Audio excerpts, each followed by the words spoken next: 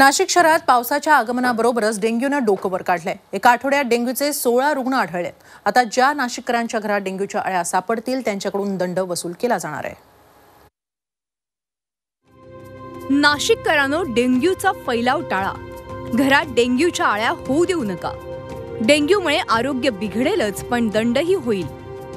नाशिकमध्ये पावसासोबत डेंग्यूही आलाय. पहिल्याच आठवड्यात सोळा रुग्ण आढळलेत. तर एकोणपन्नास संशयित रुग्णही आढळले आहेत. जानेवारी ते जून दरम्यान शहरात तीनशे त्र्याण्णव संशयित आढळले. तर एकशे सतरा जणांना डेंग्यू झाल्याचं उघडकीस आलंय. जे साचलेल्या पाण्यामध्ये डास अंडे घालून त्या डा त्याच्या डासाची उत्पत्ती होते आणि त्याच त्रास आपल्या जनतेला होतो घरातल्या माणसांना होतो.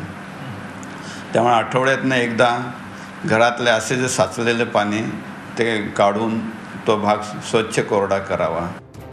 रोपाच्या कुंड्या बेवारस टायर बांधकाम प्रकल्प या ठिकाणी डेंग्यूच्या आळ्यांची पैदास होते. डेंग्यू रोखण्यासाठी आता नाशिक मनपानं पावलं उचलली आहेत.